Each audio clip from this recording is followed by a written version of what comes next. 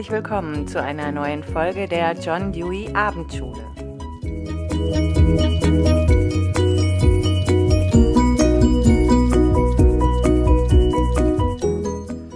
Mein Name ist Anja Besand. Ich bin die Direktorin der John Dewey Forschungsstelle für die Didaktik der Demokratie. Wir haben heute wieder ein besonderes Stück. Und dieses Stück ist deshalb besonders, weil wir einen Gastsprecher für Sie eingeladen haben. Und dieser Gastsprecher heißt Steve Kenner. Aber vielleicht, Steve, kannst du dich am besten selbst vorstellen. Herzlich willkommen auch von mir zu dieser neuen Folge der Abendschule.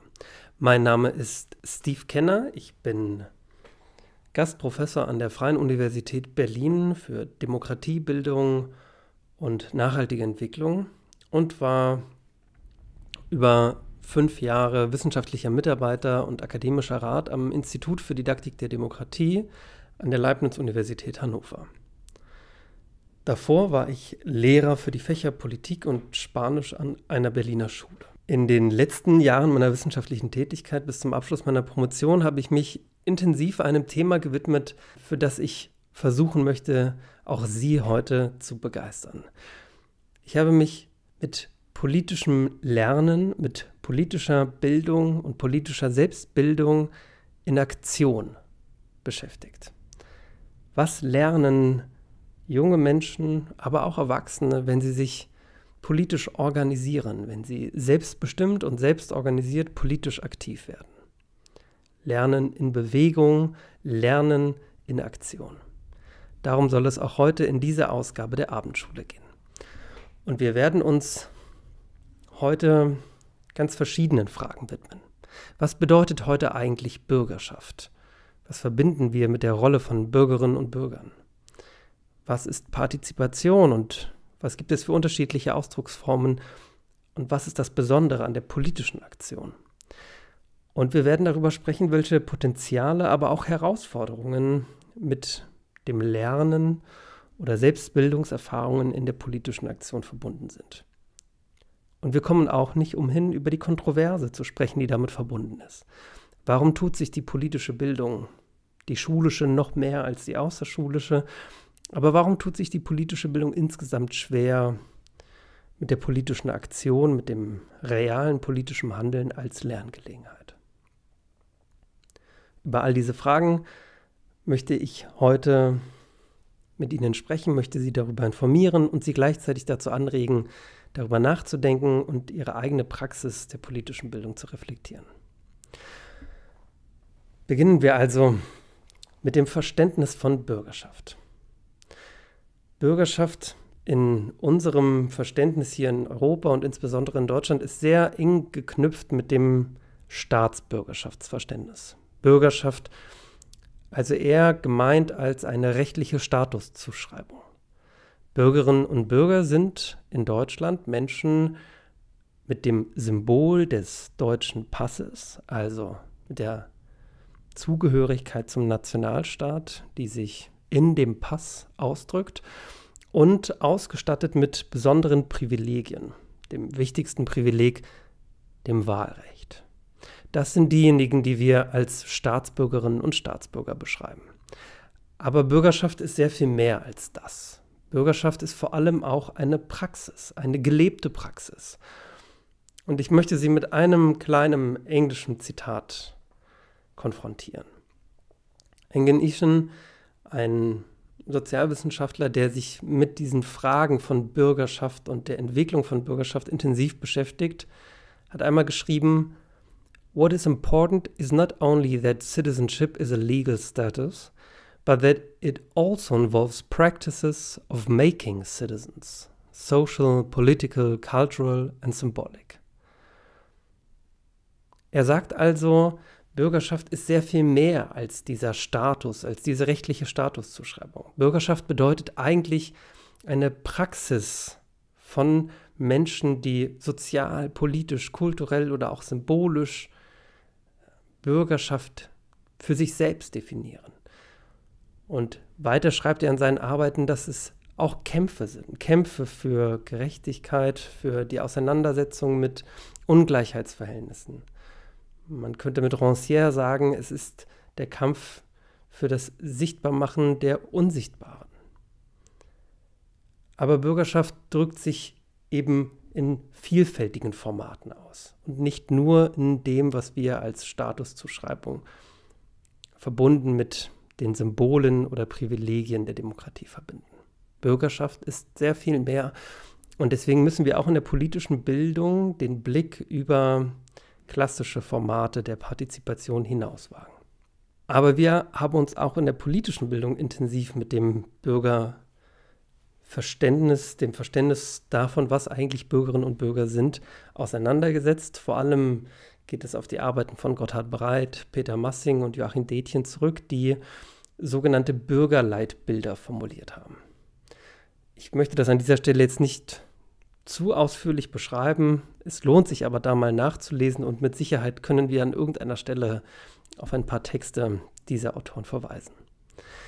In jedem Fall beschreiben sie, dass es verschiedene Bürgerleitbilder gibt und das ist ein Merkmal unserer Demokratie, in der wir zum einen die Möglichkeit haben, partizipativ und aktiv Demokratie mitzugestalten, aber die repräsentative Demokratie nicht davon abhängig ist, dass alle gleichermaßen aktiv werden. Und deswegen beschreiben Breit, Massing und auch Detjen eigentlich drei verschiedene Bürgerleitbilder. Zum einen die reflektierten Zuschauerinnen und Zuschauer, die sich regelmäßig über Politik informieren und in der Lage sind, begründete Entscheidungen, politische Entscheidungen zu fällen. Und das kann reduziert sein darauf, alle vier Jahre ihre Wahlentscheidung zu treffen. Das zweite Bürgerleitbild ist der interventionsfähige Bürger, die interventionsfähige Bürgerin. Die engagieren sich darüber hinaus, also über die reflektierte Wahlentscheidung, auch in der Politik. In der Regel punktuell und zeitlich begrenzt. Immer dann, wenn ihre eigenen Bedürfnisse, ihre eigenen Interessen, Wünsche betroffen sind. Und Breit, Massing und auch Detjen beschreiben noch ein drittes Bürgerleitbild, nämlich den Aktivbürger, die Aktivbürgerin. Menschen, die sich über einen längeren Zeitraum, vielleicht sogar dauerhaft engagieren in der Politik oder politisch aktiv sind und dieses Engagement ein wesentlicher Teil ihres Lebens wird. Joachim Detjen geht sogar noch einen Schritt weiter und sagt eigentlich erst dann, wenn Politik tatsächlich professionell betrieben wird. Also das ganze Leben der Politik gewidmet wird, dann ist man ein Aktivbürger oder eine Aktivbürgerin. Für uns ist gar nicht relevant, welches Leitbild ein Mensch entspricht und ob überhaupt Menschen so ganz konkret diesen Leitbildern zuzuordnen ist. Aber ich habe Ihnen diese Diskurse über die Bürgerleitbilder mitgebracht, weil sie offenlegen, dass es natürlich unterschiedliche Ausdrucksformen von Bürgerschaft gibt, vor allem in einer repräsentativen Demokratie, in der äh, sich die Menschen ganz unterschiedlich einbringen können. Was bedeutet nun politische Aktion? Zunächst einmal ist es ein bewusstes Handeln. Das geht zurück auf die Arbeiten von Hannah Arendt, aber eigentlich auch schon auf die Arbeiten von Weber, der beschrieben hat, dass das tatsächliche Handeln eine bewusste Auseinandersetzung mit der Welt ist und ein politisches Dazustellung nehmen. Mm, es ist also nicht ein instinktives, bloßes sich Verhalten, sondern ein bewusstes Verhalten. Und das Besondere am politischen Handeln ist, dass es eine Veränderung, eine strukturelle Veränderung zum Ziel hat. An den politischen Verhältnissen soll sich durch das politische Handeln etwas ändern. Damit unterscheidet sich das politische Handeln auch vom sozialen Handeln. Diese beiden Ebenen lassen sich nicht immer ganz trennscharf unterscheiden, aber vielleicht hilft es Ihnen als kleine Eselsbrücke, dass das soziale Handeln in der Regel temporär und lokal begrenzt ist. Menschen, die sich sozial engagieren, wollen die Lebensbedingungen ihrer Mitmenschen unmittelbar verbessern. Das sind Menschen, die sich im Verein engagieren, im Sportverein, in der Freiwilligen Feuerwehr, die sich für Obdachlose äh, bei der Tafel engagieren, die also unmittelbar die Verhältnisse der Menschen vor Ort äh, verbessern wollen. Dieses hoch anerkennenswerte soziale Engagement zielt also vor allem erstmal auf äh, die direkte, unmittelbare äh, Verbesserung der Lebensbedingungen. Politisches Handeln nimmt auch Macht- und Herrschaftsverhältnisse in den Blick. Politisches Handeln will strukturelle Veränderungen erzeugen. Frank Nonnmacher hat für diese Unterscheidung mal das Beispiel formuliert, dass wir, wenn wir uns engagieren in einem Altenheim für die äh, Bewohnerinnen und Bewohner des Altenheimes, dann ist das erstmal soziales Engagement. Wenn wir einmal in der Woche mit den Bewohnerinnen und Bewohnern Karten spielen oder mit ihnen spazieren gehen, dann ist es soziales Engagement. Politisches Engagement wird es dann, wenn wir uns dafür einsetzen, durch eine Petition, durch eine Demonstration, durch einen offenen Brief, dass sich an den Verhältnissen in den Pflegeeinrichtungen etwas verändert, die Betreuungsquote eine andere wird oder die Bedingungen insgesamt in den Altenheimen oder in der Pflege sich verändern oder verbessern. Und die politische Aktion als besondere Form der politischen Partizipation ist in der Regel unkonventionell und nicht verfasst. Das heißt, Menschen, die in politischen Bewegungen oder in politischen Aktionen aktiv sind, sind also nicht in Institutionen, Verbänden und Vereinen und sie richten sich auch nicht mit ihrem politischen Handeln unmittelbar äh, an äh, institutionalisierte Strukturen oder konventionelle Strukturen wie Parteien und äh, Wahlentscheidungen. Und oftmals ist das Engagement in der politischen Aktion in so einer Grauzone zwischen Legalität und Illegalität. Also eine Demonstration kann durchaus schnell zu einer Blockadeaktion werden. Und eine Demonstration von Schülerinnen und Schülern kann dann eben auch ein Bildungsstreik sein und damit illegal und eine bestimmte Form des zivilen Ungehorsams. Der Schulpflicht wird dann nicht nachgegangen. Damit ist politische Aktion, die sich beispielsweise in legalen, also angemeldeten oder auch unangemeldeten Demonstrationen, Blockaden, Platzbesetzungen oder eben auch Schulstreiks zum Ausdruck gebracht wird. Es handelt sich dabei nicht selten auch um Formen des zivilen Ungehorsams, wie sie Hannah Arendt oder Rawls oder Habermas schon beschrieben haben. Und nun möchte ich noch einmal ein englischsprachiges Zitat mit Ihnen teilen, das möglicherweise jetzt auch eingeblendet wird für Sie. Noch einmal Engen Ethan gemeinsam mit Greg Nielsen. Beide beschreiben, was für sie eigentlich Acts of Citizenship sind. Also das, was ich hier als politische Aktionen beschreibe. They disrupt habitus, create new possibilities, claim rights and impose obligations in emotionally charged tones, pose their claims in enduring and creative expressions, and most of all are the actual moments that shift established practices, status and order. Ethan und Nielsen schauen sich vor allem Acts of Citizenship von Menschen ohne Pass, also tatsächlich ohne den Status an. Und sie haben dabei festgestellt, dass diese, dieses bürgerschaftliche Handeln, diese bürgerschaftlichen Praxen dazu führen, dass etablierte Praxen von Bürgerschaft, aber auch Statuszuschreibungen oder Verhältnisse, auch Macht- und Herrschaftsverhältnisse verschoben werden durch Acts of Citizenship, durch politische Aktionen. Das gilt für jene ohne Pass, aber das gilt auch für jene mit Pass, die ihr politisches Selbstverständnis und ihre, ihr Bedürfnis nach politischer Teilhabe weitergehend definieren und über konventionelle Teilhabe hinaus politisch aktiv werden wollen und an den bestehenden Verhältnissen etwas ändern wollen. Das ist also das, was wir unter politischer Aktion verstehen. Und wir sehen gerade in den letzten Jahren, dass wieder sehr viel mehr Menschen sich auch politisch engagieren. In Bürgerinitiativen ähm, zu ganz unterschiedlichen Themen, also vom Windrad, das gebaut werden soll, bis hin zum Schutz der Moore in der Nachbarschaft, in denen vielleicht ein neues Gewerbegebiet gebaut werden soll. Wir sehen es an prominenten Beispielen wie der Fridays for Future Bewegung, ähm, aber auch an politischer Partizipation und Formen politischer Aktion, die unsere Vorstellungen von einer solidarischen Lebensweise, von der Anerkennung der Grund- und Menschenrechte, der diese Vorstellungen, das Fundament unserer Demokratie in Frage stellen. Es gibt immer mehr rassistische, menschenverachtende, antisemitische Denkmuster, die immer wieder und immer deutlicher in die Öffentlichkeit getragen werden.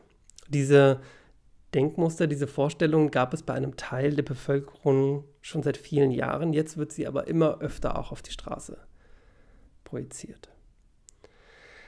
Wir interessieren uns vor allem für diejenigen, die sich mit ihrer politischen Aktion, mit ihrem politischen Handeln für die Grund- und Menschenrechte engagieren, die sich für die Weiterentwicklung der Demokratie engagieren wollen.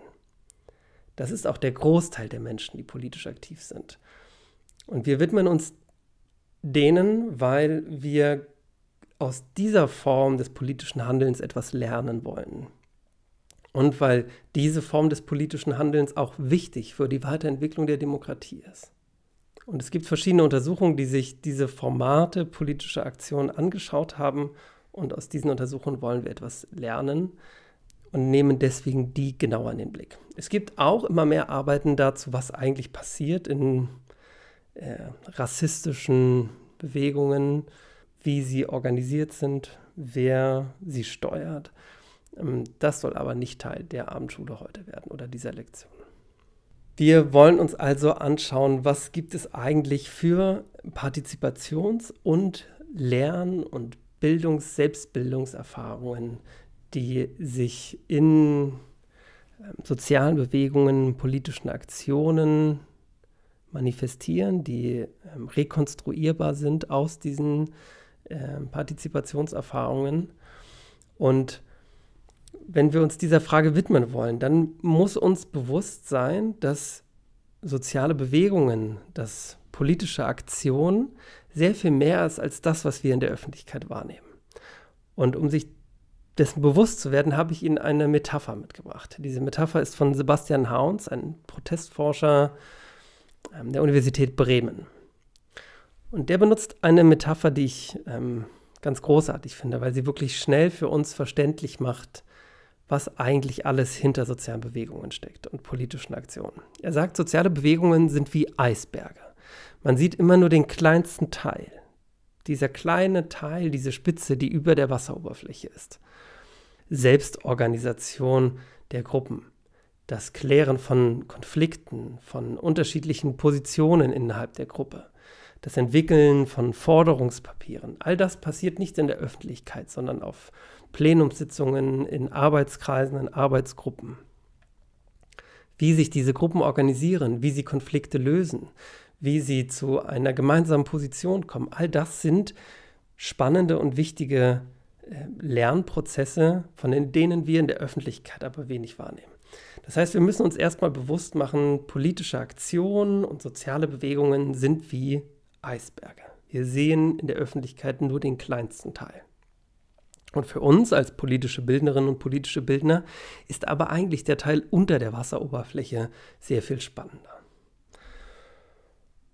Und was wissen wir eigentlich schon darüber, was unter der Wasseroberfläche passiert? Es gibt unterschiedliche quantitative und qualitative Studien zu Partizipationserfahrungen und was sie für Folgen haben. Und keine Sorge, ich möchte Sie jetzt nicht mit ganz vielen Zahlen bombardieren, aber ein paar Studien möchte ich erwähnen. Ähm, und wenn es Sie interessiert, können Sie da ja vielleicht auch noch mal intensiver nachlesen. Es gibt beispielsweise ganz spannende Untersuchungen von Eunice und Yates, ähm, die sich das Engagement in der Obdachlosenhilfe genauer angeschaut haben und Reinders, der sich das Engagement bei den Pfadfindern genauer angeschaut hat. Äh, in beiden Untersuchungen ist das Ergebnis sehr ähnlich. Dieses soziale Engagement führt zu einer erhöhten Handlungswirksamkeit. Die Engagierten bei den Pfadfindern oder in der Obdachlosenhilfe haben das Gefühl, etwas erreichen zu können, etwas getan zu haben, einen Beitrag geleistet zu haben, handlungswirksam zu sein in dem, was sie tun. Diese Untersuchungen, die es dazu bislang gibt, schauen sich entweder ganz explizit soziales Engagement an oder unterscheiden soziales und politisches Engagement nicht. Also auch die großen Jugendtrendstudien wie die Shell-Jugendstudie äh, unterscheidet nicht klar zwischen sozialem und politischem Engagement. Wir sehen aber, offenbar hat es auf jeden Fall eine Wirkung auf das Selbstwirksamkeitsempfinden oder die Handlungswirksamkeit der Menschen, die sich dort engagieren. Aus der Perspektive der politischen Bildung wäre für uns interessant, ob Partizipationserfahrungen eigentlich auch einen Einfluss auf die Entwicklung von politischem Wissen haben. Hierzu haben Barbara Landwehr und Georg Weißenow eine Studie durchgeführt. Sie haben ähm, die Teilnehmenden der Studie gefragt, ob sie ähm, partizipieren, wobei sie nicht unterschieden haben, ob sie sozial oder politisch aktiv sind, also ob sie Klassensprecherin oder Klassensprecher oder Trainer in einem Fußballverein sind oder tatsächlich politisch aktiv sind. Diese Unterscheidung ist in der Studie nicht vorgenommen worden. Und dann sind den Teilnehmerinnen und Teilnehmern äh, politische Wissensfragen gestellt worden. Also ein politisches Wissen ist abgefragt worden und dann hat man geschaut, gibt es eine Korrelation zwischen ähm, dem sozialen oder politischen Engagement und dem Mehr an politischem Wissen. Und Weißenau und Landwehr kommt zu dem Schluss, sie können nicht nachweisen, dass mehr Engagement zu mehr Wissen führt. Man muss allerdings einschränkend zu dieser Studie sagen, dass Wissen sich möglicherweise auch äh, zu bestimmten Themen in besonderer Weise erhöht. Also wer sich engagiert äh, in einer rassismuskritischen oder migrationspolitischen Initiative, hat sicherlich in diesem Feld mehr Wissen als in anderen politischen Fragen. Ähm, und das ist ja auch nicht berücksichtigt worden in dieser Untersuchung. Und eine letzte Studie habe ich Ihnen noch mitgebracht, oder eine vorletzte, weil sie sehr spannend ist. Eine Studie von Alexander Wonig zum Sozialpraktikum. Also dem ersten, oftmals ersten Kontakt von Schülerinnen und Schülern und Jugendlichen mit sozialem Engagement. In vielen Schulen gehen sie für ein oder zwei Wochen in karikative Einrichtungen und engagieren sich dort sozial. Und Alexander Wonig hat es in seiner Studie begleitet, dieses soziale Engagement, und hat Interviews geführt mit Schülerinnen und Schülern vor Beginn des Praktikums, äh, während des Praktikums und danach und hat festgestellt, dass es keinen Spillover-Effekt gibt. Aus dem sozialen Engagement entsteht nicht automatisch politisches Lernen. Die jungen Menschen stellen sich nicht automatisch politische Fragen, sondern verharren oftmals auf der sozialen Ebene. Also, wenn wir an das Beispiel von vorhin denken, das Engagement im Altenheim, dann bedeutet das in diesem Fall, die Jugendlichen sagen, wir müssten uns jetzt öfter jede Woche für die alten Menschen, für die Bewohnerinnen und Bewohner im Altenheim engagieren. Ähm, das ist quasi die soziale Ebene. Dort passiert etwas mit den jungen Menschen, aber sie stellen sich eben nicht diese politischen, strukturellen Fragen. Und deswegen ist es umso wichtiger, die sozialen Erfahrungen im äh, Engagement dann auch als politische Erfahrung zu wenden, mit ihnen diese Erfahrung zu reflektieren und zu schauen, ob aus den sozialen Lernerfahrungen nicht auch politische werden können. Und bevor ich zu meiner eigenen Studie komme und äh, darüber noch etwas berichten möchte, möchte ich noch ganz kurz auf die Arbeit von Jana Trumann eingehen. Jana Trumann hat in ihrer Untersuchung Lernen in Bewegungen sich Lernerfahrungen von Menschen angeschaut, die sich in Bürgerinitiativen engagieren. Sie hat also diese Lern- und Bildungserfahrungen aus dem Engagement in Bürgerinitiativen rekonstruiert. Und sie kommt zu dem Schluss, dass politische Bildung in der politischen Aktion, also in diesem Fall in Bürgerinitiativen, keiner Stufenlogik folgt. Vielmehr zeige sich, dass sich politisches Lernen in Anlehnung an Klaus Holzkamp eher in qualitativen Lernsprüngen vollzieht und diese Lernsprünge durch kooperative Lernprozesse begünstigt werden. Hm, der organisierte Protest, die organisierte politische Aktion, das Aufbegehren ist, so beschreibt es Jana Trumann in ihrer Analyse der Lernerfahrungen, ein Zitat, wichtiger Initiator für die individuellen politischen Lern- und Handlungspraxen, die eben nicht auf der Ebene des vielfach zugeschriebenen reinen Verhinderns verbleiben, sondern wichtige gesellschaftliche Transformationspotenziale in sich bergen. Ende des Zitates. Und Jana Trumann beschreibt hier schon etwas ganz Wichtiges, dem wir uns jetzt noch einmal widmen wollen. Was sind eigentlich die Sorgen, welche Skepsis gibt es im Feld der politischen Bildung gegenüber der politischen Aktion? Jana Trumann sagt es hier schon, viele im Feld der politischen Bildung glauben, dass politische Aktion, dass äh, politische Bewegungen eher auf einem Verhindern aus sind, also nicht zukunftsorientiert, sondern eher etwas verhindern möchten. Gerade bei Bürgerinitiativen wird das oft verbunden dann mit den beispielsweise mit dem Verhindern einer neuen, eines neuen Windkraft, einer neuen Windkraftanlage. Das ist eine der Sorgen, eine der Kritikperspektiven äh, auf die politische Aktion. Es gibt aber auch noch andere. So beschreiben Politikdidaktikerinnen und Politikdidaktiker, dass das Lernen in politischer Aktion zu einer Beschränkung auf die Perspektive der eigenen Gruppe führen kann. Dass es sich eher um kurzfristige Erfahrungen handelt, die nicht nachhaltig sind und dass das Engagement in der politischen Aktion oder in sozialen Bewegungen zu Überwältigungserfahrungen führen kann. Hier wird also auf den Beutelsbacher Konsens rekurriert und die Sorge beschrieben, dass die Erfahrung in der politischen Bildung überwältigend und frustrierend sein kann und damit zu Politikverdrossenheit führt. Auf der anderen Seite werden aber auch Potenziale der politischen Aktion beschrieben. Es wird die Hoffnung formuliert, dass sich dadurch authentische Selbstbildungserfahrungen zeigen, dass diese politische Aktion zu Selbstwirksamkeit führt und zu einer Steigerung von Selbstwirksamkeitsempfinden bei Menschen, die sich politisch einbringen und dass es eine hohe Motivation zur Folge hat, sich auch mit anderen politischen Themen auseinanderzusetzen, äh, die über die eigene politische Aktion hinausgehen. Ich möchte Ihnen jetzt abschließend für die heutige Folge der Abendschule ein paar Erkenntnisse aus meiner eigenen Studie mitbringen. Ich hatte es eingangs schon erwähnt, ich habe in den letzten fünf, sechs Jahren am Institut für Didaktik der Demokratie an der Universität Hannover promoviert. Und in meiner Studie Politische Bildung in Aktion habe ich Interviews in ganz Deutschland geführt mit Jugendlichen, die sich selbstbestimmt und selbst organisiert in politischen Jugendinitiativen engagiert haben. Die Themenfelder waren dabei ganz unterschiedlich. Meine Studie begann schon vor Fridays for Future.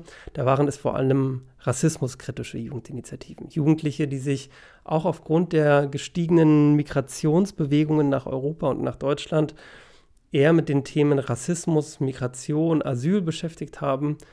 Und später war, kamen immer mehr Bewegungen, die aus der Umweltpolitik oder dem umweltpolitischen Engagement äh, kamen. Ich habe ähm, einen ethnografischen Feldzugang gewählt. Ich habe also viele Aktionen begleitet, Demonstrationen, Blockadeversuche und war auf vielen Plenumssitzungen der Gruppen und habe dann 17 Interviews geführt, die ich mit Hilfe der qualitativen Inhaltsanalyse ausgewertet habe. Und dabei habe ich zum einen auf das klassische Handwerkszeug politischen Lernens geschaut, also inwiefern entwickelt sich Wissen, analytische Kompetenzen, Urteilsbildungsfähigkeit, Kritikfähigkeit oder auch politisches Handeln oder politische Handlungskompetenz. Mm, ich wollte also aus den Erfahrungsberichten der jungen Menschen rekonstruieren, wie sich diese Formen politischen Lernens aus den Erfahrungen rekonstruieren lassen und habe darüber hinaus geschaut, welche anderen Zugänge es gibt, die ich aus einer eher formalen Perspektive vielleicht gar nicht berücksichtigt habe. Und dann, da kann ich jetzt schon sagen oder vorausschicken, dass es ganz spannende neue Perspektiven gab auf politische Bildung und politische Selbstbildung, die ich vorher gar nicht berücksichtigt habe. In dieser Abendschule werde ich Ihnen nicht alles berichten können, was ich in dieser Studie herausgefunden habe. Das Buch gibt es übrigens kostenlos zum Download ähm, ist mit Sicherheit auch hier irgendwo verlinkt. Genau, ich möchte es für Sie aber einmal zusammenfassen. Ich habe feststellen dürfen durch die äh, intensive Auseinandersetzung mit dem Datenmaterial, dass die Jugendlichen, die selbstbestimmt und selbstorganisiert politisch aktiv sind, einen großen Wert auf reflektierte Quellenarbeit legen.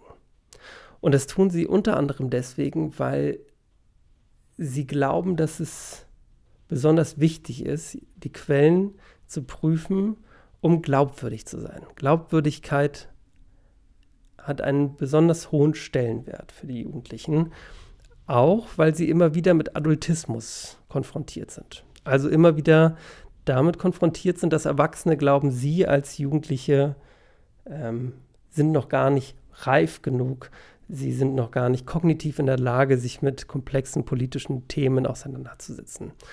Und deswegen, so beschreiben es die Jugendlichen auch, ist es ihnen besonders wichtig, Quellen kritisch zu hinterfragen, Ähm, weil wenn sie sich politisch positionieren, öffentlich, dann werden sie besonders kritisch beäugt und dann wollen sie besonders klar und deutlich zeigen, dass sie verschiedene Quellen benutzt haben, verschiedene Perspektiven berücksichtigt haben ähm, und dass sie die Qualität der Quellen immer auch äh, geprüft haben.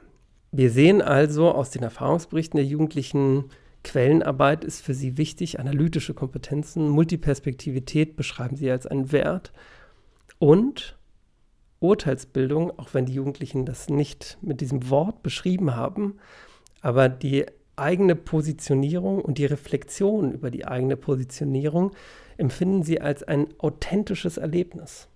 Sie beschreiben, wie sie erstmals durch die politische Aktion, durch das eigene politische Handeln gelernt haben, sich ein Urteil zu bilden, das Urteil auch öffentlich vertreten zu können, aber auch zu reflektieren und zu hinterfragen. Und sie haben das durchaus abgeglichen mit den Urteilsbildungserfahrungen, die sie in der Schule erlebt haben. Also die simulierten Urteilsbildungsprozesse, beispielsweise über hm, Podiumsdiskussionen, Rollenkarten und so weiter. Und diese Lernerfahrung haben sie als interessant beschrieben, aber als ganz anders und weniger authentisch. Gesellschaftsanalyse, also im weitesten Sinne Kritik an den bestehenden Verhältnissen, ist natürlich Antrieb ihres Engagements. Das braucht man wahrscheinlich gar nicht weiter ausführen, aber wenn sich junge Menschen freiwillig in ihrer Freizeit politisch selbst organisiert ähm, für eine ähm, nachhaltige Welt, für den Klimaschutz oder gegen Rassismus engagieren, dann ist das immer auch verbunden mit einer kritischen Gesellschaftsanalyse. Das, was noch einmal hervorgehoben werden könnte und hervorgehoben werden sollte, sind die besonderen Formen von Handlungskompetenz, die sie entwickeln. Etwas, das wir in der politischen Bildung weder in der schulischen noch in der außerschulischen ausreichend berücksichtigen. Das reale politische Handeln führt dazu, dass sie nicht nur lernen, wie sie sich politisch engagieren können, sondern sie lernen vor allem auch die Wirksamkeit und die Legitimation ihres Handelns zu reflektieren. Wann wenden sie eine Demonstration als Aktionsform an und wann eher eine Flyer-Aktion in der Fußgängerzone? Darüber machen sich die politisch aktiven Gedanken. Und wie legitim ist eine Blockadeaktion oder eine Besetzung eines öffentlichen Platzes? Darüber machen sich die Jugendlichen im Vorhinein Gedanken und sie werten ihre Aktionsformen auch aus. Die Reflexion dieser Handlungserfahrungen können nur durch tatsächliches Handeln, durch das Lernen in Aktion gelingen. Und gleichzeitig ist hier eine große Chance für die schulische und außerschulische politische Bildung. Diese Reflexionserfahrungen können wir begleiten als politische Bildnerinnen und politische Bildner. Und wir können aus ihren Erfahrungen lernen. Beispielsweise haben mir die Jugendlichen beschrieben, wie sie Konflikte in den Gruppen lösen wie sie es schaffen, auch in großen Plenumssitzungen miteinander zu diskutieren. Und zwar basisdemokratisch organisiert, ohne die Autorität einer Lehrkraft. Sie haben nonverbale Kommunikationsstrategien entwickelt, also Zustimmung durch bestimmte Handzeichen oder Ablehnung durch bestimmte Handzeichen. Sie haben besondere Formen von Redelisten entwickelt, einfach quotiert oder doppelt quotiert, ähm, wer hat schon einmal gesprochen, wer ist Erstrednerin oder Erstredner nach Geschlecht sortiert, um Menschen äh, hören zu können, die sonst nicht so viel sagen. All das sind Strategien, die sie in der politischen Aktion entwickelt haben und von der auch die schulische und die außerschulische politische Bildung profitieren kann. Und gleichzeitig können wir als politische Bildnerinnen und politische Bildner ihren Lernprozess begleiten. Wir können sie in den Reflexionsphasen unterstützen. Und wir können ihnen auch helfen, den Jugendlichen, aber auch den Erwachsenen, die politisch aktiv sind, die Frustrations- und Überforderungserfahrungen, die sie mit politischer Aktion machen, äh, aufzuarbeiten. Denn, das kann ich aus meiner Studie auf jeden Fall bestätigen, die Jugendlichen, mit denen ich gesprochen habe, haben Frustrationserfahrungen gesammelt. Und ja, sie waren auch immer wieder überfordert mit all dem, mit dem sie konfrontiert waren durch die politische Aktion. Und besonders interessant ist, dass diese Überforderung für sie deswegen ein Problem war, weil es kaum erwachsene Menschen gab, die ihnen geholfen haben, mit diesen Überforderungserfahrungen, mit diesen Frustrations- und Überwältigungserfahrungen umzugehen. Und sie haben dann oftmals in den Gruppen selbst Strategien entwickelt, aber sie waren vor allem enttäuscht davon, dass Lehrkräfte oder auch ähm, Sozialpädagogen und Sozialpädagogen in Jugendclubs sie nicht hinreichend unterstützt haben. Und eher Sorge hatten, dass der soziale Frieden gefährdet wird, wenn dann die politische Aktion auch in die Schule oder den Jugendclub oder den Jugendtreff kommt. Und diese Sorge, das ist vielleicht für mich eine ganz wichtige Erkenntnis aus meiner Untersuchung und auch aus den anderen Untersuchungen, denen ich mich gewidmet habe in den letzten Jahren.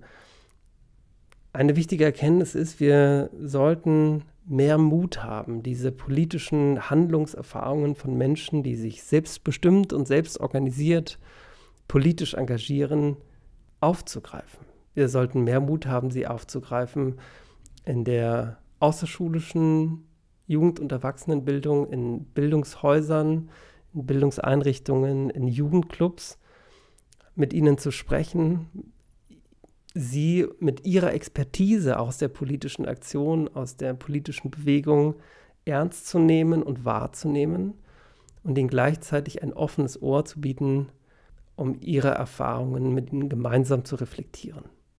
Und wir können sie unterstützen und wir können ihnen helfen, die Frustrationserfahrungen ähm, aufzuarbeiten und die Selbstwirksamkeitserfahrungen zu stärken. Und genau dafür wünsche ich Ihnen viel Erfolg und viel Spaß. Wenn Sie das nächste Mal, ob als Lehrerin oder Lehrer oder als außerschulische Jugend- und Erwachsenenbildnerin die Möglichkeit haben, mit Menschen zu arbeiten, die selber politisch aktiv sind, die sich selber politisch engagieren. Arbeiten Sie mit diesen Menschen zusammen, lernen Sie von ihnen, und lassen Sie diese Menschen von ihrer Expertise als politische Bildnerin und politische Bildner profitieren. Arbeiten Sie zusammen auf Augenhöhe und lernen Sie voneinander. Dabei wünsche ich Ihnen ganz viel Spaß.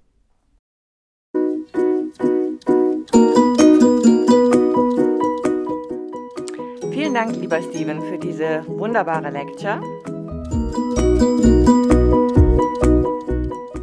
Und auch ganz vielen Dank bei unseren AbendschulbesucherInnen fürs Zuhören und Mitdenken. Bleiben Sie uns gewogen und besuchen Sie uns bald wieder. Die Judith wird finanziert durch Mittel auf der Grundlage des vom Sächsischen Landtag beschlossenen Haushalts. Auch dafür haben wir zu danken.